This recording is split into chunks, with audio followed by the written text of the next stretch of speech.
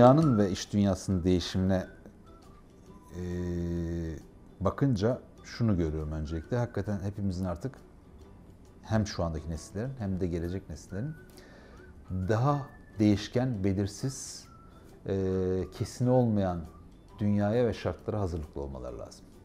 Yani bunu hayatlarının yaşam standardı olarak algılamalar lazım.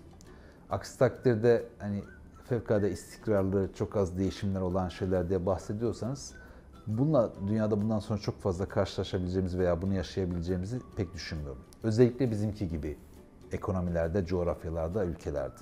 Çünkü takdir edersiniz ki biz her gün bir farklı yapının içerisindeyiz. Yani e, Norveç'in X ilçesinde yaşayan birisinden farklı bir dünya yaşıyoruz.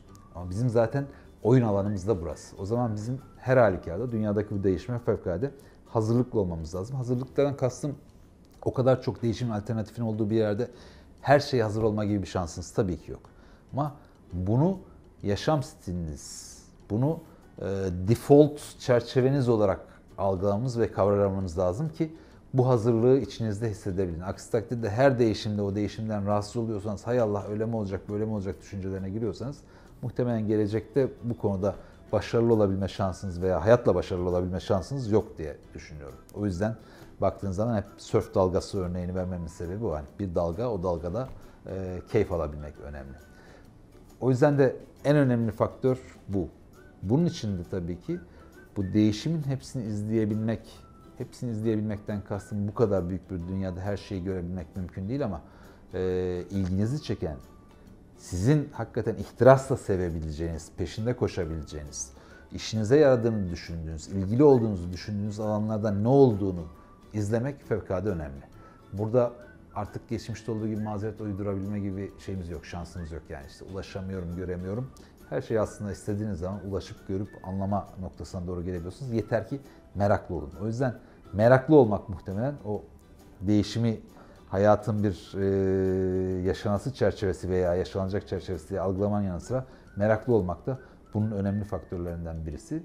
Bir diğeri de demin konuştuğumuz eğer hakikaten gelişimi ve değişimi şekillendirmek ve bu şekillendirmeyi de hakikaten hep beraber insanlar olarak daha güzel daha iyi yaşanabilir bir geleceğe doğru evirmek istiyorsak, öyle şekillendirmek istiyorsak da o zaman geleceği düşünmek, hayallemek ve onun içinde aksiyon almaktan bahsetmek mümkün.